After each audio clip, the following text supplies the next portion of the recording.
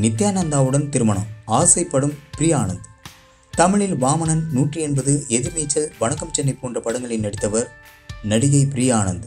சமீபத்தில் தனியார் யூடியூப் சேனலுக்கு பேட்டியளித்த இவர் நித்யானந்தாவை திருமணம் செய்து கொள்ள விருப்பம் உள்ளதாக தெரிவித்துள்ளார். இது குறித்து பேட்டி காணும் நபர் பிரியானந்திடம் தங்களுக்கு நித்யானந்தா மீது கிரஷ் உள்ளதா ஏனெனில் நித்யானந்தா குறித்த மாதத்திற்கு இரண்டு செய்தியாவது சமூக வலைதளங்களில் பகிர்கிறீர்கள். கேட்டபோது அதற்கு பிரியானந்த் இவ்வாறு பதிலளித்துள்ளார். அவரை எனக்கு ரொம்ப பிடிக்கும். திருமணமானால் பெயரை கூட மாற்றவே தேவையில்லை. இவ்வளவு பேர் அவரை பின்தொடர்கிறார்கள். அப்படியென்றால் அவரிடம் ஏதோ ஒன்று உள்ளது. மக்களை ஈர்க்கும் தன்மையுடையவர் எனவும் கைலாசாவிற்கு விசா கிடைத்தால் உடனடியாக சென்று விடுவேன் எனவும் தெரிவித்துள்ளார். இதனை நெட்டிசன்கள் பகிர்ந்து சமூக வலைதளங்களில் ட்ரெண்ட் செய்து வருகின்றனர்.